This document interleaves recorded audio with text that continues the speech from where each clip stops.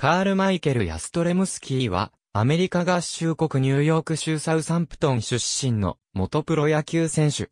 23年間の現役時代すべてをボストンレッドソックスに所属。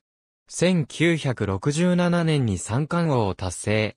それ以来2012年にミゲル・カブレラが三冠王を獲得するまで45年間三冠王は現れず、最後の三冠王と呼ばれていた。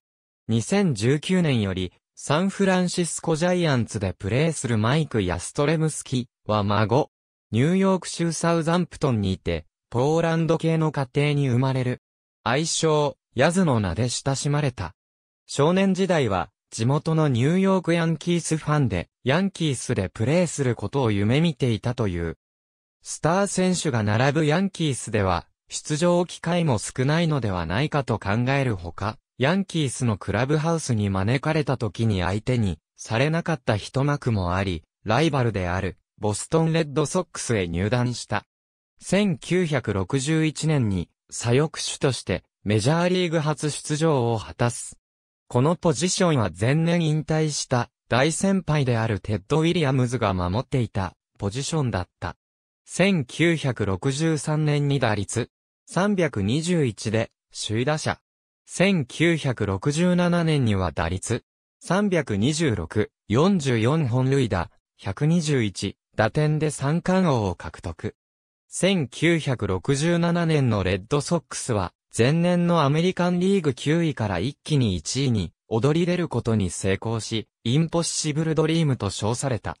しかしワールドシリーズでは、セントルイスカージナルスに3勝4敗で敗れ、1918年以来のシリーズ制覇はならなかった。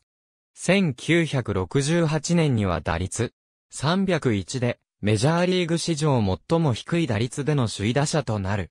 タイトルを獲得できなかったシーズンでも、多くの部門で常に上位につける確実な活躍を見せ続けた。1975年に再び、ワールドシリーズに駒を進めるが、シンシナティレッズの前に再び3勝4敗で敗れる。1983年に現役引退。ヤストレムスキーの背番号8。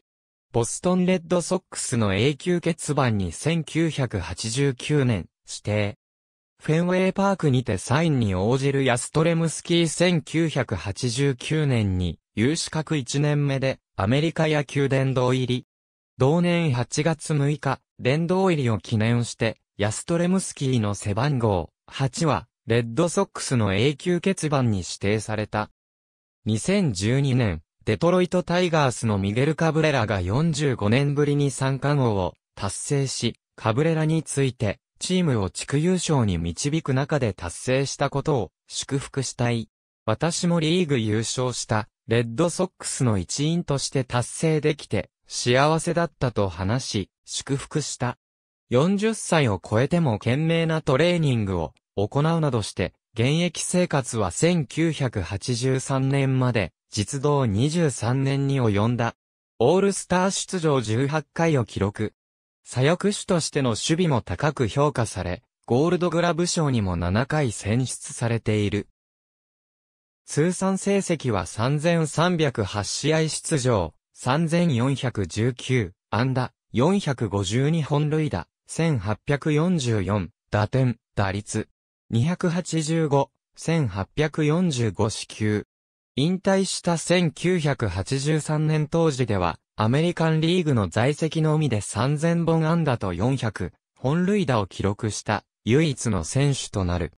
通算安打数のベスト10の選手の中で、1シーズン200安打を一度も達成したことがないのは、彼のみである。